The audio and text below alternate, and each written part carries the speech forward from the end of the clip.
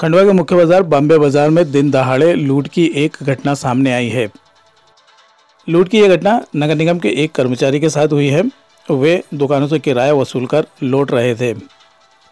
घटना दोपहर करीब साढ़े ग्यारह बजे बॉम्बे बाज़ार की है। निगम कर्मचारी अमित मोहे नगर निगम द्वारा वसूले जाने वाली करों की राशि लेकर लौट रहे थे, तभी उनके साथ में ये घटना हुई।